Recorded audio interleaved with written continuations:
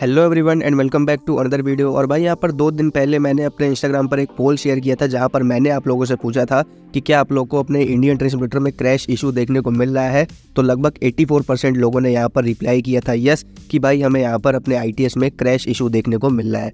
अब ये जो क्रैश है यार, ये दो तरह के होते हैं। सबसे पहले लो एंड डिवाइस के यूज़र्स जो क्रैश फेस करते हैं, यानी कि जो ये कॉमन है जनरली जो लो एंड डिवाइस के यूज़र्स होते हैं, उनके गेम में जो, उनके मोबाइल में जो गेम है, वो क्रैश होता रहता है। लेकिन जो आज मैं आपको क्रैश इशू बताने जा रहा हूँ, वो कॉमन है। हाई एंड डिवाइस के यूज़र्स हो, चाहे लो एंड डिवाइस के यूज़र्स हो, सभी लोग इस इशू को फेस कर रहे हैं। कैसे फिक्स करना है, वो तो मैं आपको बताऊँगा ही। लेकिन यहाँ पर ये एक तरह से ग्लिच है, या फिर आप कह सकते हो बग भी है अपने आई में।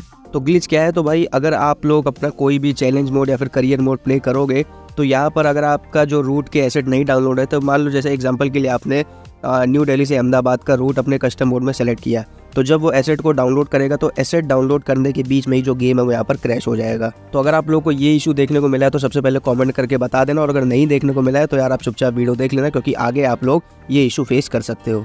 ठीक है भाई तो क्रैश हो जाता है आपका गेम जब आपके जो एसेट्स है वो डाउनलोड हो रहे होते हैं। अब यार यहाँ पर जो हाइब्रो इंटरेक्टिव है, उन्होंने यहाँ पर रिलीज़ भी किया है, इन इस क्रैश इशू को फिक्स भी किया है अपनी तरफ़ से, लेकिन यहाँ पर ऐसा हो सकता है कि अपडेट रिलीज़ करने के बाद भी आप लोग को यार क्रैश देखने को मिल जाए तो अब यार बार बार तो अपडेट रिलीज़ नहीं कर सकते। मैं आपको सोल्यूशन बता दूँगा, वो सोल्यूशन सिंपल से अप्लाई कर लेना। तो यार छोटा सा सोल्यूशन है, अपने जेडर सीवन एप्लीकेशन की मदद से हो जाएगा, लेकिन उससे पहले आप वीडियो को कर देना लाइक और यार, अगर आप लोग पहली बार आए उस चैनल पर तो आगे ऐसी और इंटरेस्टिंग और हेल्पफुल वीडियोस देखने के लिए आप चैनल को सब्सक्राइब कर देना। लेट्स स्टार्ट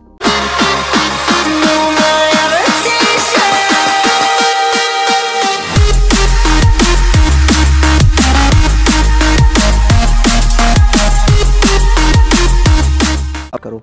तो देखो यार सोल्यूशन इज़ वेरी सिंपल यहाँ पर सबसे पहले आपको अपने जेड आर एप्लीकेशन में आना है। उसके बाद आना अपने एंड्रॉइड वाले फोल्डर में डेटा में आना है और यहाँ पर फाइंड करना है अपने कॉम डॉट हाइब्रोटेक्टिव डॉट इंडियन टेस्टमीटर वाले फोल्डर को।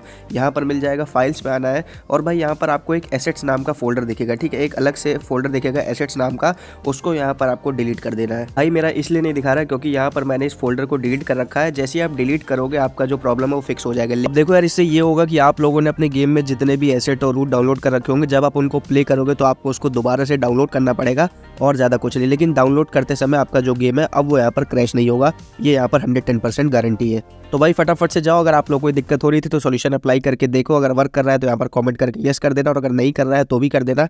आगे और सोल्यूशन की तरफ़ देखा जाएगा या फिर हाइब्रो डिटेक्टिव से बात की जाएगी। वीडियो को मैं ही खत्म करता हूँ और मैं शांत आपसे मिलता हूँ आगे ऐसी और किसी इंटरेस्टिंग वीडियो के साथ। तब तक के लिए गुड बाय